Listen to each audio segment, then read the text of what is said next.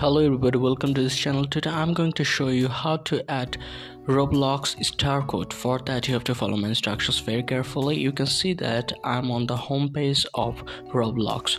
From the top right corner there are three buttons, search button, settings and notification button. You have to just click the settings option.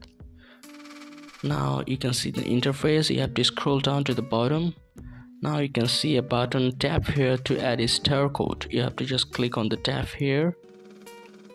Now you can see that an space has been created for entering your star code. Just click on the enter the star code. Now you have to put your star code here and you have to click add and your star code will be added. In this way you can add star code easily on roblox.